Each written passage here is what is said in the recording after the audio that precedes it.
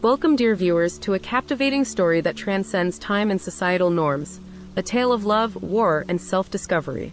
In this poignant narrative, we delve into the extraordinary life of Antoinette de Colbert, a courageous individual who defied societal expectations and found her true self amidst the chaos of war. Set against the backdrop of World War I, Antoinette's journey begins as Antoine, a young man thrust into the trenches of battle. Faced with the horrors of war and the pressing need to escape, Antoine takes a daring leap into a world entirely different from his own. A world where he embraces the identity of a woman named Antoinette. As Antoinette, she discovers a newfound sense of peace and freedom.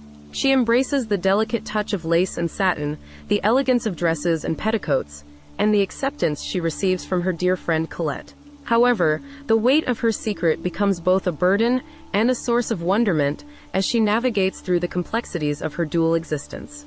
As Antoinette immerses herself in her new identity, she finds love, friendship, and a sense of belonging in Parisian society. But just as she begins to build a life filled with joy and acceptance, fate has other plans in store. Love blossoms, and yet it proves to be a love that may never be fulfilled. Through the trials and triumphs of her life as a woman, Antoinette's resilience shines through. She becomes an advocate for gender equality and finds her voice as a writer, sharing her experiences to inspire others to embrace their authentic selves fearlessly.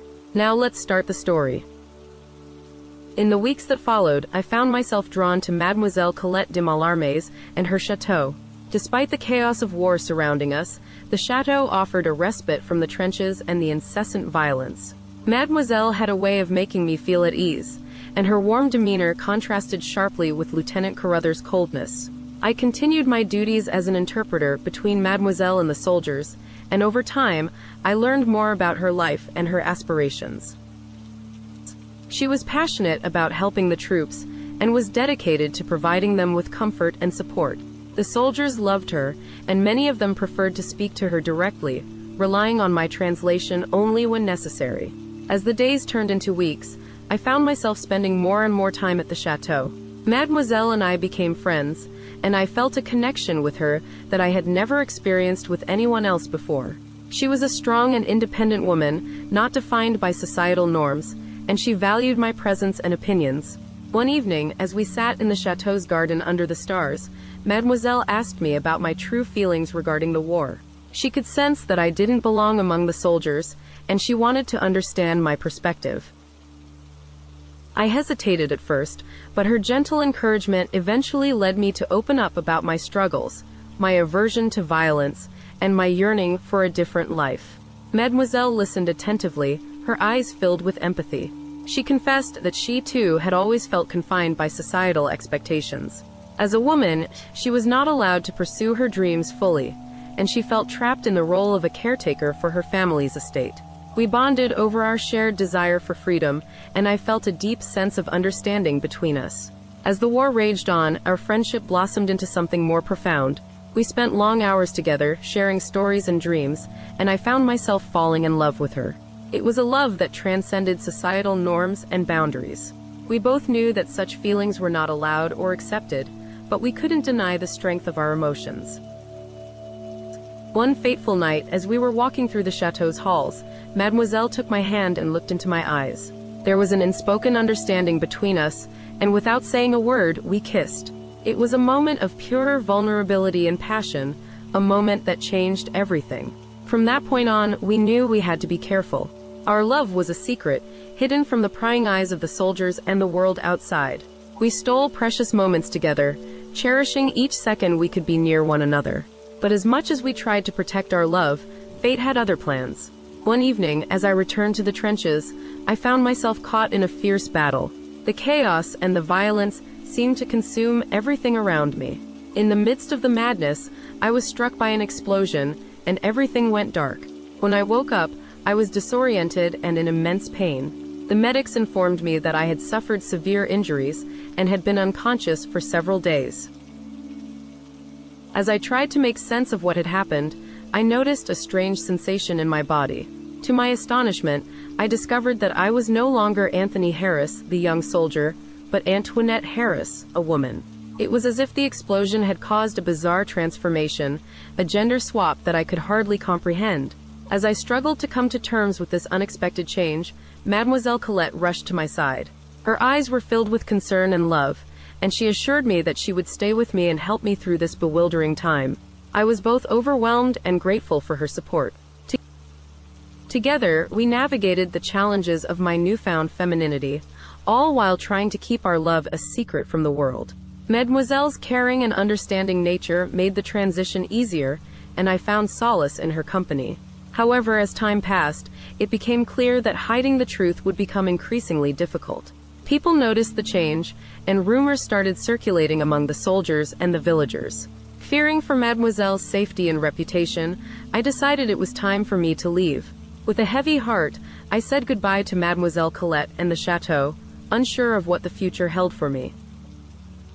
I journeyed to a nearby town, where I hoped to find answers about my unexpected transformation. There, I met a kind doctor who explained that such instances were rare but not entirely unheard of. The explosion must have triggered a unique reaction in my body, leading to the gender swap. As I tried to adapt to my new life as Antoinette, I couldn't help but feel the weight of loss. I missed the camaraderie of the soldiers, the familiar routines of army life, and most of all, I missed Mademoiselle. The void left by her absence was immense, and I knew I had to find a way back to her. Determined to reunite with the woman I loved, I mustered the courage to return to the chateau. When I saw Mademoiselle again, her eyes widened with surprise and joy. She embraced me, not as Anthony or Antoinette, but simply as the person she loved. Mademoiselle's unconditional acceptance of my transformation filled me with hope and happiness. We vowed to face the world together, come what may. As the war finally came to an end, we decided to leave the village and build a new life elsewhere, far from the judgmental eyes of society. Our love story defied conventions and transcended boundaries. It was a tale of resilience, acceptance, and courage, proving that true love knows no limits. And so, hand in hand, we embarked on a journey of love and adventure, embracing our new identities and a future filled with endless possibilities. As the years passed, our story became a whispered legend among the villagers.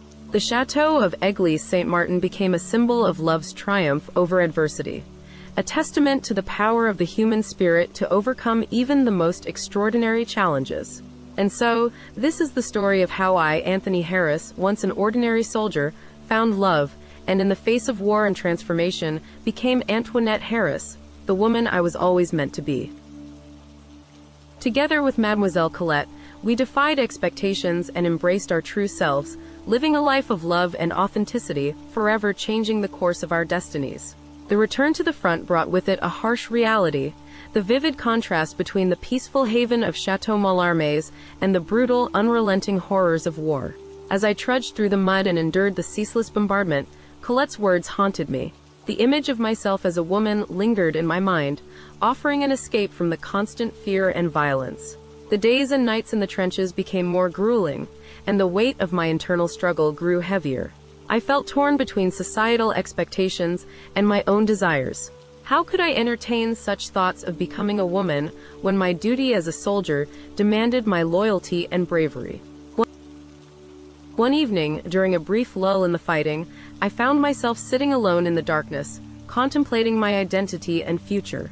The explosions in the distance seemed distant and irrelevant, and I allowed myself to confront the truth buried within me. Deep down, I knew that the woman I imagined myself to be was not a mere fantasy, but a part of who I was. As days turned into weeks, my introspection intensified. I began to question why I had always felt like an outsider among my fellow soldiers. It wasn't just my lack of interest in the war or the camaraderie, it was something deeper, something I had suppressed for so long. One day, while I was on a brief respite, I decided to confide in my closest friend in the regiment, Corporal Thompson. I trusted him enough to share my innermost thoughts and fears, unsure of how he would react. As I, nervously revealed my feelings, I was surprised by Thompson's reaction. Instead of ridicule or judgment, he listened with genuine understanding. He admitted that he too had never felt like a typical soldier, and the war had merely magnified that feeling. We bonded over our shared experiences of not fitting into the mold that society had shaped for us. Thompson encouraged me to explore my feelings further and consider the possibility of a different path. While it was a terrifying notion, the idea of living authentically as myself, whether as Anthony or Antoinette, became increasingly appealing. Together, we devised a plan for me to escape the horrors of war and embark on a journey of self-discovery. With Thompson's support, I managed to obtain a forged passport and identification papers, thanks, thanks to connections he had established through the black market. He also secured a safe route for me to escape from the front, away from the battlefield that had become my personal hell. On a moonless night, while my fellow soldiers slept, I said my silent goodbyes and slipped away from the trenches. Thompson covered for my absence, allowing me the chance to start anew. In the darkness, I made my way through the treacherous terrain, guided only by the stars and my determination to find my true self. My heart raced with both fear and hope, unsure of what the future held but knowing that it couldn't be worse than the life I was leaving behind. Finally, after a harrowing journey, I reached safety. I found myself in a small town, far away from the war, where I could begin the process of embracing my true identity. I had decided to embrace the possibility of becoming Antoinette fully. The town offered me a chance to start anew, away from the judging eyes of society and the horrors of war. I, I secured a job as a shop assistant, using my fluency in French to my advantage. The townsfolk accepted me as a stranger with no knowledge of my past, and I embraced the opportunity to build a new life. As I settled into my new identity as Antoinette, I found myself feeling a sense of freedom and happiness I had never experienced before. My days were no longer consumed by the relentless grind of war, and I no longer had to pretend to be someone I was not. Over time, I connected with a group of progressive-minded individuals who welcomed me for who I was. They taught me about gender identity and acceptance, guiding me through the process of fully embracing my true self. While I still thought of Colette and the love we shared, I knew that our worlds were too far apart, and I had to let go of the past to find my own happiness.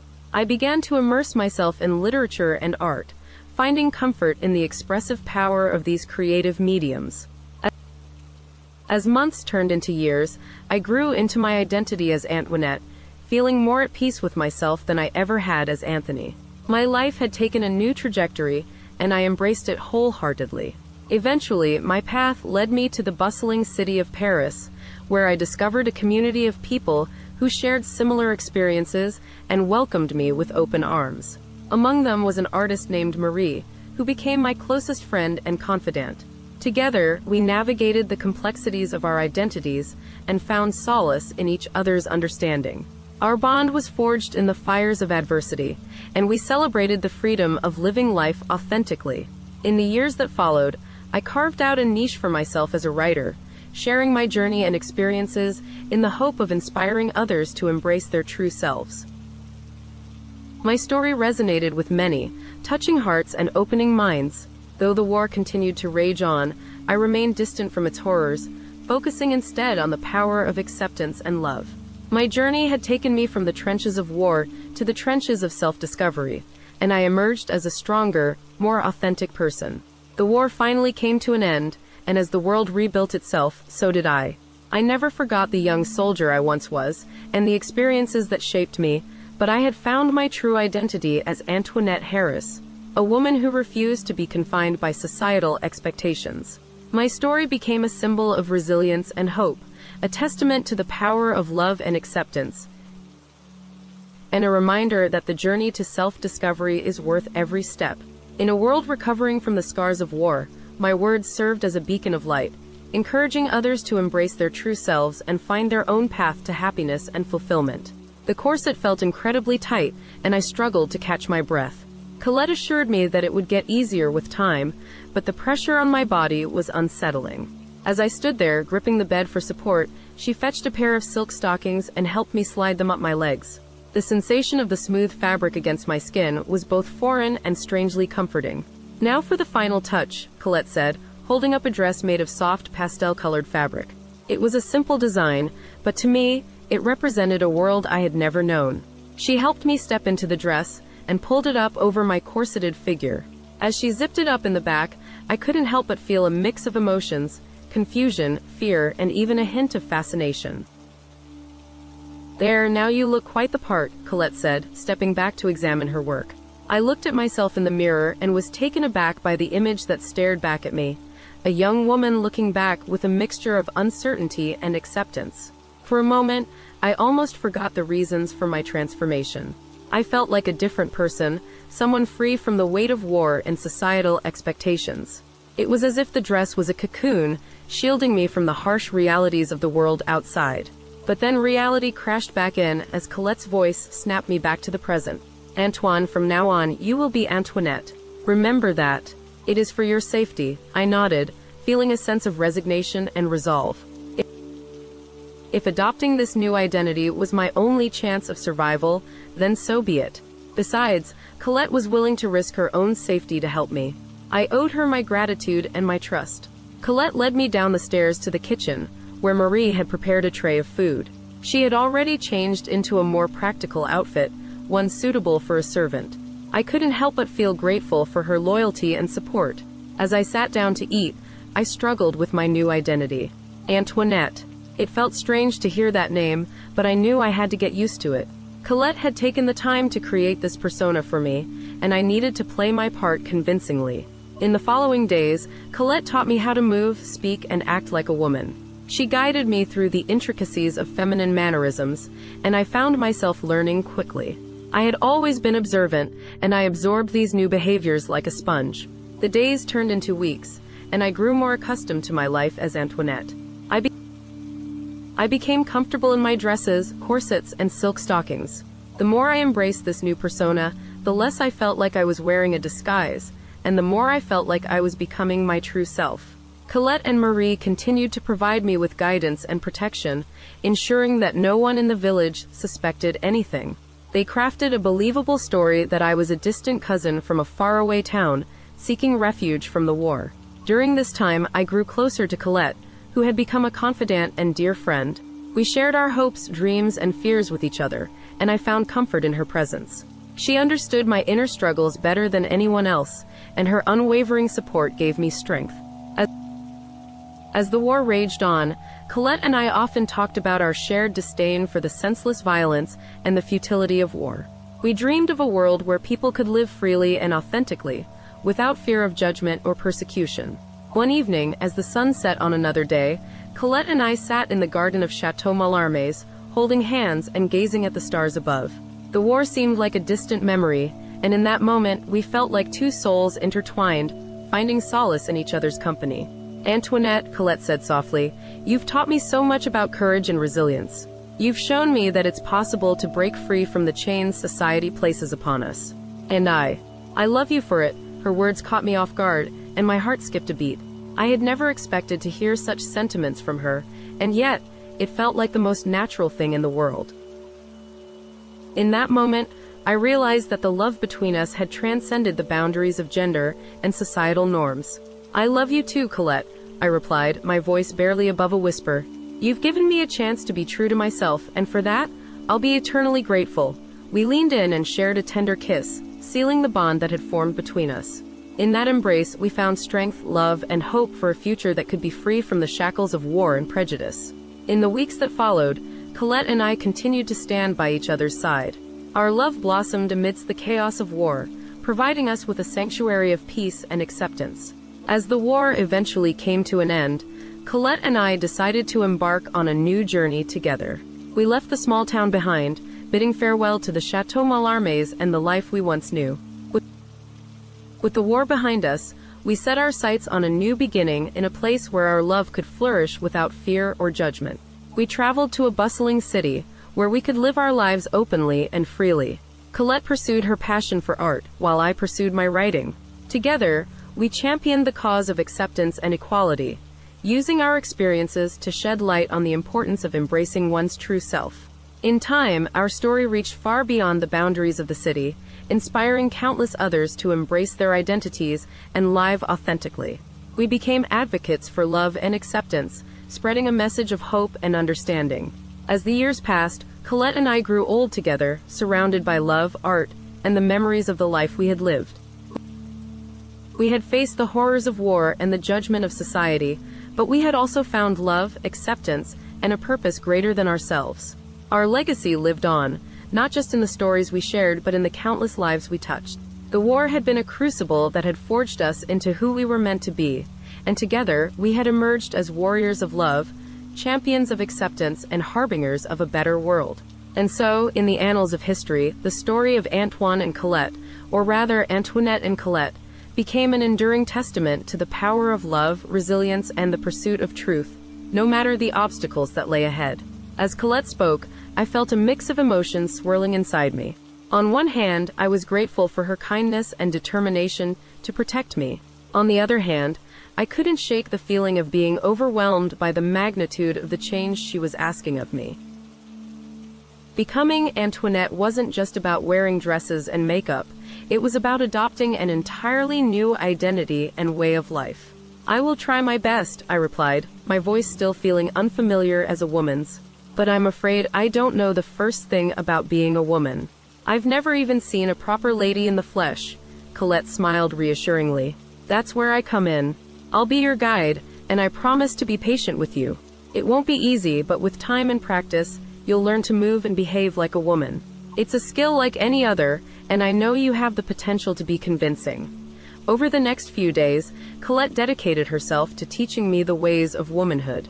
We worked on my posture, my gestures, and my speech. She corrected me gently when I slipped back into masculine habits and encouraged me to embrace my new identity fully. As, the weeks passed, I gradually became more comfortable as Antoinette. I learned to walk gracefully in my high-heeled boots, to curtsy when appropriate, and to handle the intricacies of tea parties and social gatherings. Colette taught me about flower arrangements, the art of conversation, and even how to play the piano. Throughout this process, I discovered that there was a sense of liberation in embracing my feminine side. As Antoinette, I felt less burdened by the expectations of society and the traumatic memories of war.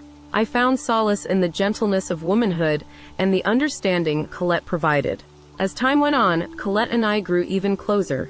Our bond deepened beyond the realms of friendship, and a profound love blossomed between us.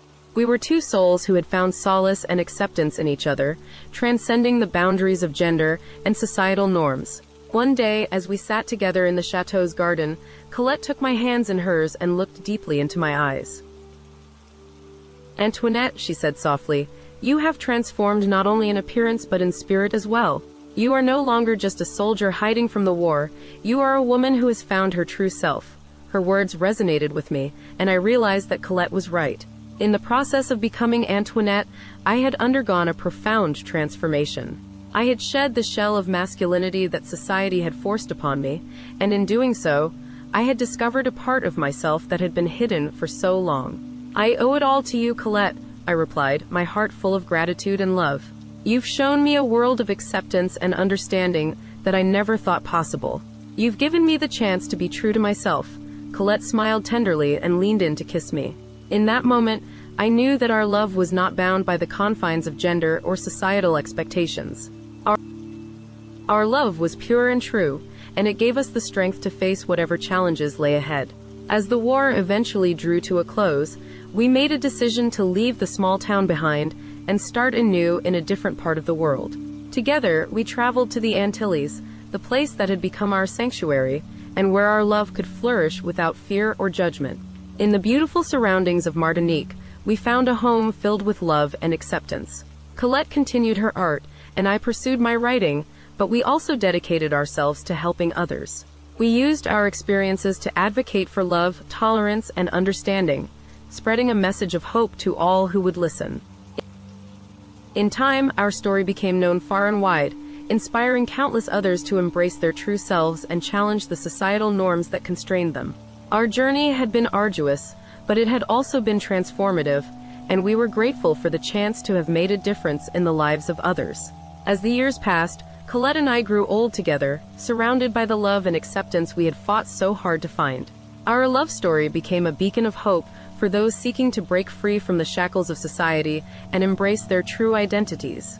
In the end, we knew that our legacy was not just about being Antoine and Colette or Antoinette and Colette. It was about the love and understanding that had united us. We had proven that love knows no boundaries, and when two souls find solace in each other, they can create a world where acceptance and compassion reign supreme. And so, as we looked back on our extraordinary journey, we knew that our love had transcended the horrors of war and the limitations of gender. We had become warriors of love, advocates of acceptance, and beacons of hope for all who sought to embrace their true selves and live authentically. As the days turned into weeks, I found myself torn between conflicting emotions. On one hand, I resented the fact that I was now living a life that felt alien to my true identity as a man. The corsets, the dresses, the delicate mannerisms, they all reminded me of the burden I carried, the price I paid for fleeing the war. A part of me still longed for the simplicity of life as a soldier, despite the horrors of the battlefield. Yet, on the other hand, I couldn't help but find a sense of solace in this new existence. There was a certain tranquility in the elegance of womanhood, in the gentle rhythms of life at Chateau Mallarmes. I embraced my training, learning to move with grace and decorum, to speak and act like a refined young lady. As I spent more time with Colette, my admiration and love for her grew stronger. She was not just my savior, but also my guide, teaching me the art of womanhood with patience and understanding. Our bond transcended gender. We were kindred spirits, two souls seeking refuge from a world that had forced us into molds we didn't fit. During quiet moments, when we were alone together, Colette would share stories of her life before the war, of her travels to the French West Indies, and of her dreams for the future. I too began to open up about my past, my struggles, and the reasons that led me to escape the horrors of war. In, in each other's arms, we found comfort and solace. As the war raged on, we remained hidden in our chateau, nurturing our love and helping each other cope with the burden of our respective roles. We found ways to keep ourselves entertained, playing music, engaging in deep conversations, and finding solace in the beauty of nature surrounding us.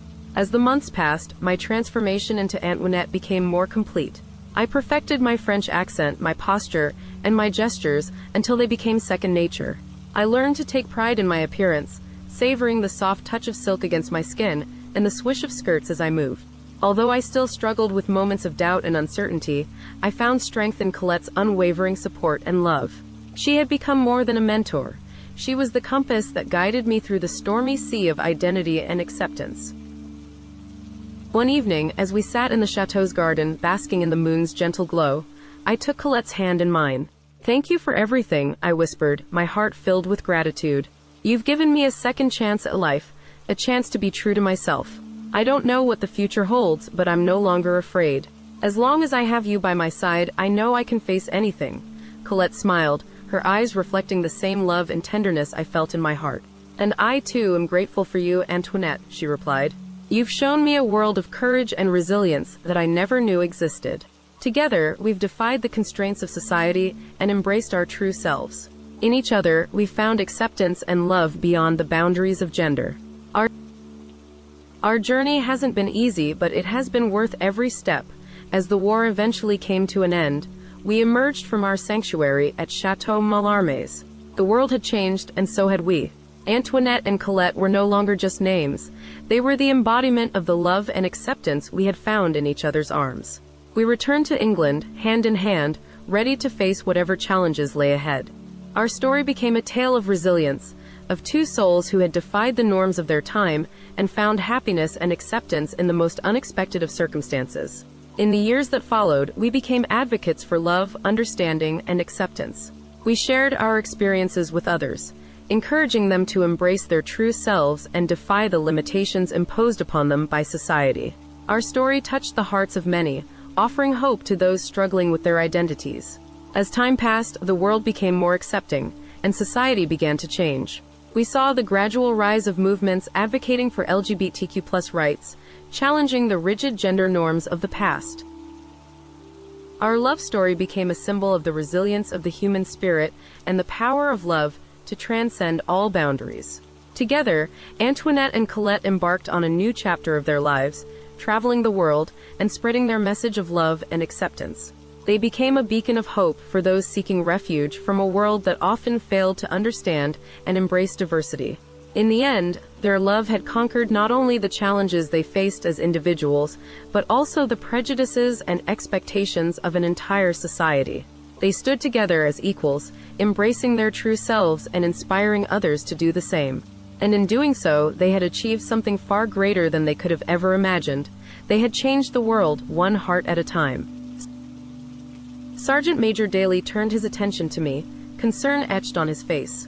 I am sorry that this has occurred, miss, he said in English. Are you all right? Still shaken and in a state of shock, I continued speaking in French, trying to regain my composure. Merci, monsieur, je suis très bien. Si n'est pas compris. Je dois partir. I thanked him for his intervention and assured him that I needed to leave. Daly nodded, understanding my discomfort. Of course, miss. You should return to your company immediately. These men won't bother you again. He accompanied me back to the carriage, ensuring my safety. As we rode back to Chateau Mallarmes, I couldn't shake off the fear and vulnerability I had felt during the encounter with the drunken soldiers. It was a stark reminder that even in my new identity as Antoinette, I was not entirely safe from the dangers that lurked in the outside world. When we returned home, I confided in Colette about the incident, recounting every harrowing detail. She listened attentively, her expression a mix of concern and anger. I'm glad Sergeant Major Daly intervened, she said. He's a decent man and he won't let those soldiers cause any trouble for us. But it scared me, Colette, I admitted, my voice trembling. What if they had discovered my true identity? What if they had hurt me? I can't live in constant fear like this. Colette held me close, comforting me with her touch and words. I know, my dear, she whispered. It's a risk we have to take, being who we are, defying the norms of society. But we won't let fear control us. We'll be cautious, but we won't hide. Her words resonated deeply with me. Despite the fear that lingered, I knew Colette was right. Hiding away wasn't the solution. We couldn't let fear dictate our lives. I had to accept that being Antoinette meant embracing all aspects of life, the joys and the risks. In the days that followed, I found solace in Colette's comforting presence. She understood my anxieties and offered support whenever I needed it. Our relationship grew stronger as we faced the challenges together, finding strength in each other's love and understanding. When the dinner with the Monins approached, I felt a mix of excitement and nervousness. I wanted to make a good impression, to prove to them that I was a proper companion for Colette. I dressed carefully in the new dress Madame Arouet had tailored for me, feeling a sense of femininity and elegance wash over me. The dinner went smoothly, and I found myself enjoying the company of Madame Monin and her daughter Michelle. They were delightful, and it was evident that they had taken a liking to me as well. Colette beamed with pride, knowing that her protege had charmed her family friends. As the weeks turned into months, I became more and more comfortable in my new identity as Antoinette. The fear and uncertainty that once plagued me began to fade, replaced by a newfound sense of confidence and acceptance. I no longer saw my transformation as a punishment, but as an opportunity to be true to myself and to embrace the person I had always been. Colette and I continued our work as advocates for love and acceptance. We used our story to inspire others, encouraging them to defy societal norms and to embrace their true selves, regardless of the challenges they faced. Eventually, the war ended, and the world began to heal from the scars of conflict. Society, too, started to change, becoming more accepting and understanding of diverse identities and orientations. As time passed, Colette and I grew older, but our love remained as strong as ever. We lived a fulfilling life together, always cherishing the journey that had brought us together, and the love that had transcended gender and expectations. Our legacy became more significant than we could have ever imagined. The story of Antoinette and Colette became a symbol of resilience, love, and the power of embracing one's true self. We had faced adversity and challenges, but we had triumphed, proving that love knows no boundaries and that the human spirit is capable of great strength and courage. As our story continued to inspire others, the world continued to evolve. The fight for equality and acceptance gained momentum, and societal norms continued to shift. People became more open minded and compassionate, recognizing that the diversity of human experiences enriches us all. In the end, Antoinette and Colette's love story became a beacon of hope and understanding, a testament to the power of love to transcend all barriers. And as we looked back on our extraordinary journey, we knew that our love had not only changed our lives, but had contributed to changing the world for the better. My heart skipped a beat as Emile asked me to dance. I eagerly accepted, trying to hide the excitement that surged through me. The ballroom was filled with music, laughter, and swirling couples, but all I could focus on was Emile's hand on mine as we moved gracefully across the dance floor. As we danced, I found myself lost in the moment, feeling as though I had truly become the young woman I appeared to be. Emile was a wonderful dancer, and I felt safe and cherished in his arms. He complimented my gown and told me how lovely I looked, and I blushed at his kind words. During the evening, we danced several times, and each dance brought us closer together. We exchanged pleasant conversations about music, books, and life in general. I couldn't help but be charmed by his warm smile and genuine interest in getting to know me better. As the night drew to a close, Emile walked me to the carriage, and just before saying goodbye, he asked if he could call on me at Chateau Mallarmes. I hesitated for a moment, knowing the complications of such a visit, but my heart overruled my cautious thoughts, and I agreed with a shy smile. In the following weeks, Emile and I spent more time together. He would visit the chateau, and we would walk in the gardens or sit by the fire, engaging in delightful conversations. Colette was always present during these visits, acting as a chaperone, ensuring that propriety was maintained. Emile seemed to be genuinely taken with me, and I found myself falling for him too. It was both exhilarating and terrifying to experience these feelings. I grappled with the complexities of my identity, unsure of how to navigate this burgeoning romance. As the days turned into months, Emile's leave came to an end, and he had to return to the front. We, we said our goodbyes with promises to write and stay in touch. I watched him ride off, a mix of emotions stirring within me. Colette comforted me, assuring me that our feelings were natural and that it was all right to allow myself to be vulnerable. Over the next year, Emile and I exchanged letters regularly. He told me about his experiences in the war, and I wrote to him about my life at Chateau Mallarmes and our activities in the village. Our letters became a lifeline for both of us, a source of hope and connection in the midst of the harsh reality of war. During that time, I also continued to immerse myself in the role of Antoinette. I embraced my feminine identity, relishing in the freedom and peace it brought me. It no longer felt like a disguise, but a part of who I was, a side of myself that I had suppressed for too long.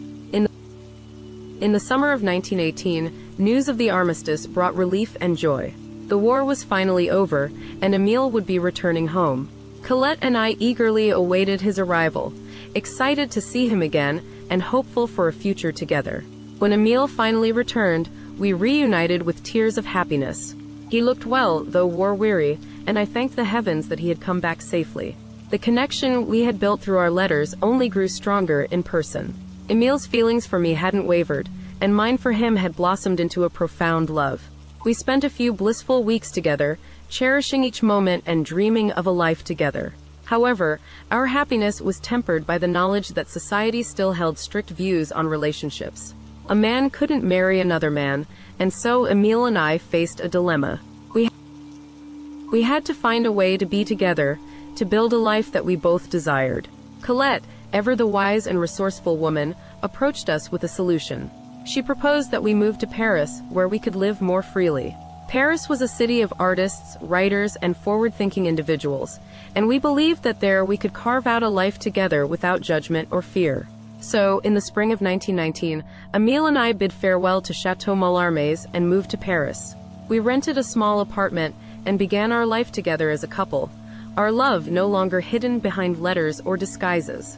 In Paris, we thrived in the artistic and bohemian atmosphere. Emile pursued his passion for painting, and I found work as a writer, using my experiences to craft stories of love and acceptance. Our life together was filled with love, adventure, and shared dreams. Over the years, our love story became an inspiration to many, a tale of overcoming societal norms and embracing true love. We found friends who accepted us for who we were, and our love was celebrated in the circle of artists and intellectuals we surrounded ourselves with. As time went on, the world continued to change. Society became more accepting, and the fight for LGBTQ rights gained momentum. We were fortunate to witness these changes, knowing that we had played a small part in paving the way for others. Emile and I lived a long and fulfilling life together, celebrating our love and the beauty of authenticity. Our story became a legend, one that transcended time and inspired generations to come. And so, the tale of Antoinette and Emile Lachaille lives on, a testament to the power of love and the courage to be true to oneself, no matter the obstacles. We hope that our story continues to inspire others to embrace their identities and to love fearlessly, just as we did all those years ago. As Emile's engagement to Michelle was announced, my heart sank with disappointment. I had allowed myself to get carried away with dreams of a life with him, only to have those hopes dashed. But as the days passed, I found solace in the fact that I had experienced a kind of love, even if it wasn't meant to be. I continued to live my life as Antoinette, embracing the femininity that had brought me such peace and happiness. The war still raged on, but in Paris, there was a sense of hope and renewal as the city began to rebuild itself after the devastation. My writing career flourished, and I found fulfillment in expressing my thoughts and experiences through my stories. I wrote about the challenges of love, the beauty of acceptance, and the resilience of the human spirit. My stories touched the hearts of many, and I became a respected and beloved writer in Parisian literary circles. Emile and Michelle's wedding was a grand affair, and I attended as a close friend of the Monin family. I watched as they exchanged vows, genuinely happy for their happiness. It was bittersweet knowing that Emile and I could never be together, but I had come to accept that life was filled with twists and turns, and sometimes things didn't work out as we hoped. As the years passed, Emile and Michelle welcomed children into their family, and I remained a part of their lives as their dear friend Antoinette. I cherished the role I played in their lives, knowing that my love and support were genuine, even if I couldn't have Emile as my partner. Life in Paris was a whirlwind of excitement and artistic exploration. I continued to immerse myself in the bohemian culture, surrounded by creative souls who celebrated individuality and uniqueness. Through it all, I felt a deep sense of belonging and contentment as Antoinette. The war eventually came to an end, and the world began to heal from the wounds of the past. Society started to shift its perspectives, and LGBTQ rights slowly gained recognition. While there were still challenges to face, I knew that progress was being made, and I felt proud to have played a part in paving the way for acceptance and understanding. As I grew older, I often wondered about the fate of my comrades from the front. I learned that Sergeant Major Daly had survived the war and retired from the military. I wrote to him, expressing my gratitude for the kindness he had shown me that day when he saved me from Corporal Milson's advances. Daly's reply was warm and filled with nostalgia for the past. He was living a quiet life in a small village, finding peace and contentment in his garden and with his family. Through the years, Colette remained by my side as a loyal and devoted friend. We shared the joys and sorrows of life, and she never ceased to support me in my journey as Antoinette. Our bond grew stronger, and we became like sisters, confidants in this vast and ever-changing world. As time went on, I became an advocate for gender equality and acceptance. I used my platform as a writer to champion the rights of LGBTQ individuals, sharing my story as a testament to the power of love and authenticity. I often thought about the young man who had once been Antoine and how much he had changed since those days in the trenches. While I still carried the memories of war within me, I had found a sense of peace and purpose as Antoinette, embracing my true self and the woman I had become. In my later years, I continued to write, sharing my experiences and wisdom with younger generations. My life had been one of adventure, resilience, and love. I had defied society's expectations and found my place in the world, proving that one's identity and worth were not defined by societal norms. As I reflect on my journey, I realize that becoming Antoinette was not just a disguise to avoid danger. It was a transformation that allowed me to embrace my true self. My experiences as a woman taught me compassion, empathy, and the strength to overcome adversity. My legacy lives on in my writings and the stories I left behind. I hope that they continue to inspire others to embrace their authentic selves and find the courage to love fearlessly. The world had changed, and so had I, becoming the person I was always meant to be Antoinette de Colbert, a woman who defied expectations and lived life on her own terms. And as I sit here, reflecting on my life's journey, I can't help but feel a sense of gratitude and contentment. I found love in unexpected places, and while Emile and I never had the chance to be together, I had experienced a kind of love that had shaped me profoundly. My story may have begun as a desperate attempt to escape war, but it blossomed into a tale of self-discovery, love, and the pursuit of authenticity. As the world continued to change and progress, I knew that my legacy would live on, not just as a soldier who had survived the front, but as a woman who had embraced her true self and dared to love, unapologetically and without reservations. As we embark on this extraordinary journey with Antoinette, we invite you to join us in celebrating the power of self-discovery, love, and the courage to defy societal norms. Don't forget to subscribe to our channel to stay updated on more captivating stories like this one. And if you enjoyed this video, please give it a thumbs up. It means the world to us. Thank you for being a part of our community, and we look forward to sharing more compelling tales with you. Until next time, stay curious, stay compassionate, and embrace the beauty of being your authentic self.